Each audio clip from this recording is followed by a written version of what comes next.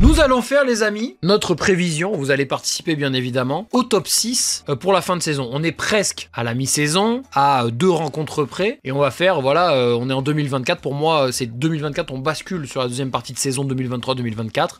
Et vous allez faire euh, avec moi du coup ce fameux top 6, top 10, etc. Et euh, du coup c'est pour ça que sous les yeux, je vous ai mis euh, une tier list avec que des équipes méritantes du top 14 bien évidemment. vous avez vu on a fait plusieurs catégories. Le top 10, le top 6 et un petit peu les autres. et voilà, c'est-à-dire que bon, on a un petit peu trois championnats en gros. On a le maintien, le ventre mou et ceux qu'on voit éventuellement dans le top 6. Moi, ce que je vous propose, c'est de procéder un petit peu Brive premier. Bah oui, pour Brive, on est d'accord. Mais on va faire, on va composer sans eux, parce que sinon, on va dire que je suis pas objectif vis-à-vis de Brive. Mais évidemment que Brive mérite le top 6. Mais bref, euh, là, là n'est pas le, là n'est pas le sujet. On va commencer par, euh, du coup, euh, placer ceux qui a priori ne devraient pas être dans le top 6. Donc, on va procéder un petit peu par élimination.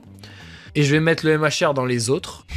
les autres deux points. Je vais mettre le MHR ici qui est déjà beaucoup trop loin dans cette course-là. Je vais les accompagner de l'USAP. Personne n'y verra quoi que ce soit de choquant non plus.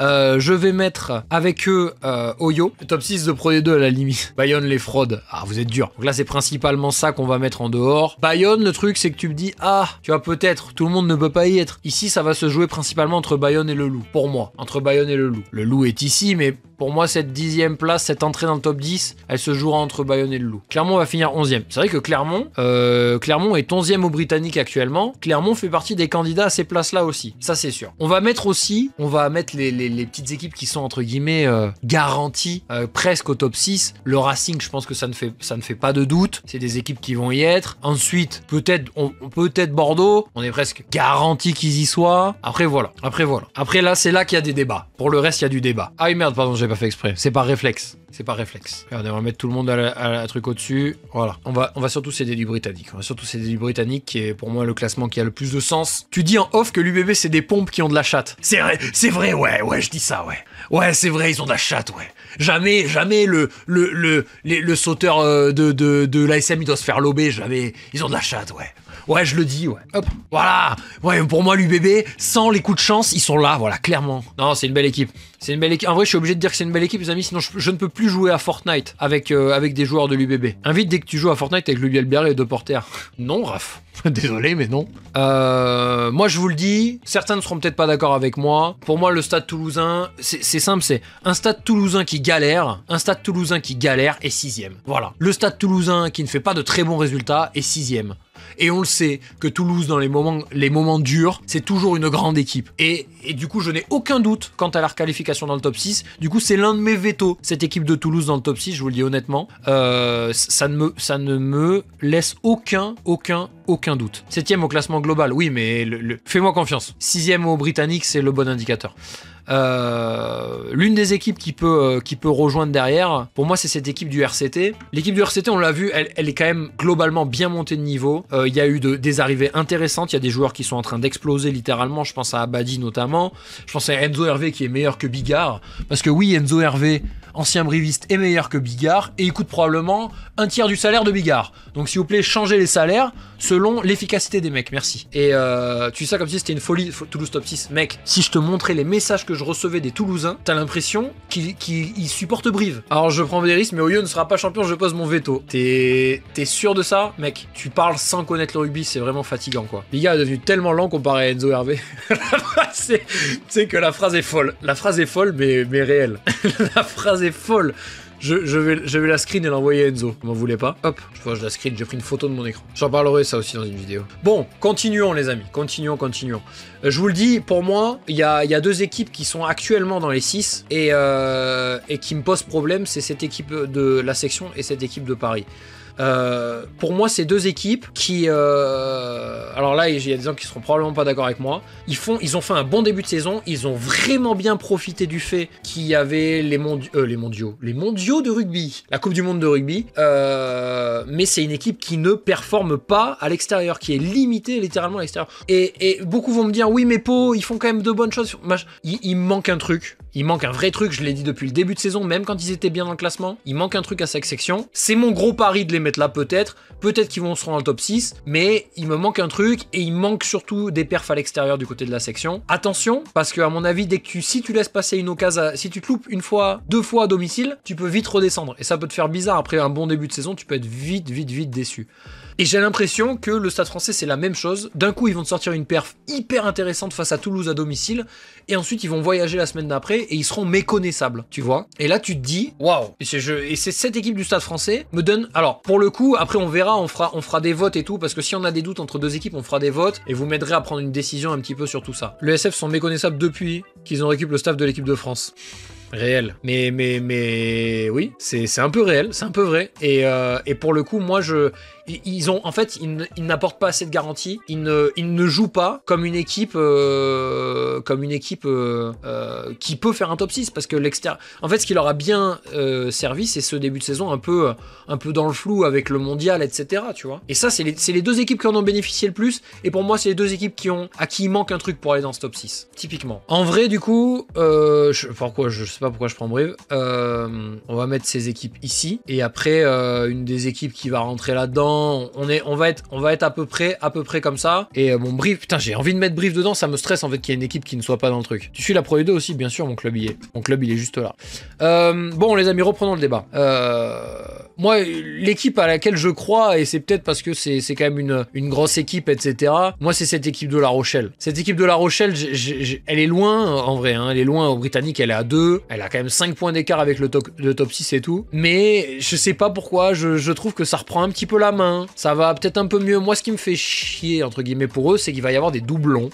Et que je ne, je n'arrive pas à imaginer euh, comment ils vont repasser ces doublons correctement, etc. Et ça va quand même avoir un impact important sur le collectif. Euh, il y a eu le retour d'Aldrit, notamment, qui, euh, a fait du bien, comme, comme certains le disent dans le chat. Mais bon, je vais parler de casse, je vais parler de casse. Comment ça, doublon Bah, il y a hallucination. Il y a hallucination qui arrive. C'est-à-dire qu'il va y avoir des matchs où ils n'auront pas leurs internationaux. Intéressant comment ils vont aborder la Champions Cup aussi. Moi, je, pense honnêtement que t'es le stade Rochelet. Je pense que tu dois. Euh, ceux qui jouent à LoL vont comprendre. Tu dois FF la Champions Cup. Tu dois, laisser, la laisser de côté. T'as, pas. Alors, t'es champion en titre, c'est terrible, hein. Mais euh, après, ça dépend de ce que tu veux. En vrai, ça dépend de ce que tu veux. Parce que, ben, mine de rien, t'es quand même pas très bien pour te qualifier, tu vois. Mais bon, je sais pas. Après, ça dépend. comme Parce que le fait d'être champion en titre, ça change quand même pas mal de choses. Parce que tu as un statut à tenir tu vois. Tu peux pas juste dire euh, ouais, tant pis, on, fait pas ça et puis on verra, tu vois. Mais effectivement, ça, ça, peut être l'un des facteurs limitants. Mais j'ai l'impression que euh, il leur reste les plus faibles. Oui, mais les plus faibles de la, Champions Cup, tu vois ce que je veux dire. Mais c'est vrai en soi. C'est vrai, mais bon, est-ce que c'est une équipe euh, Est-ce que pour La Rochelle, si t'es pas full effectif, etc., tu peux vraiment aller te chercher les deux, jouer sur les deux tableaux, tu vois? Alors qu'actuellement, tu es, bon, t'es 9ème ici sur le classement normal, ils sont sur 8ème. C'est à peu près, c'est similaire. Tu vois est-ce que tu peux vraiment jouer sur les deux tableaux avec la saison que t'as Ou alors il vaut mieux pas se focus sur un truc? Tu vois, quand tu. Moi, typiquement, je pense que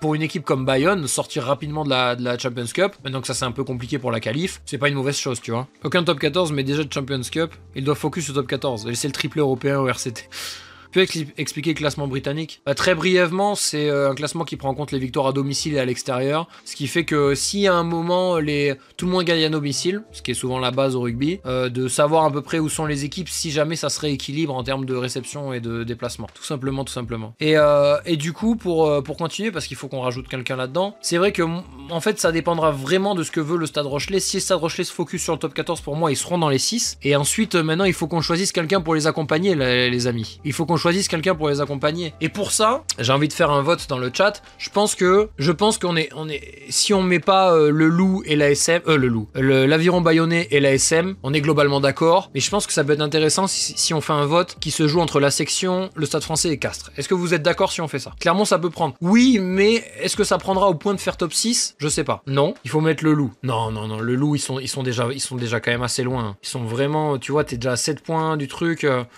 et le loup, c'est surtout le contenu, en fait. C'est surtout le contenu qui est proposé qui, me fait dire qu'il faut pas qu'il soit dans ce débat-là tout de suite, tu vois. Ouais, on fait un petit sondage? Ok, on fait un petit sondage sur ça.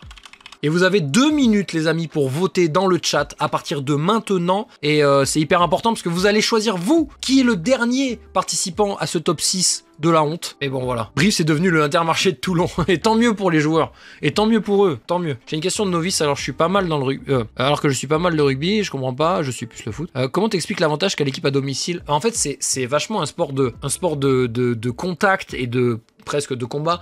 Maintenant que je suis les sports de combat, j'aime pas dire sport de combat quand je parle de rugby. Et là-dessus, tout l'aspect motivation, l'aspect équipe, l'aspect euh, on se bat ensemble et tout est hyper important. Et en plus, t'as aussi tous les repères du terrain, t'as tes habitudes, etc., etc.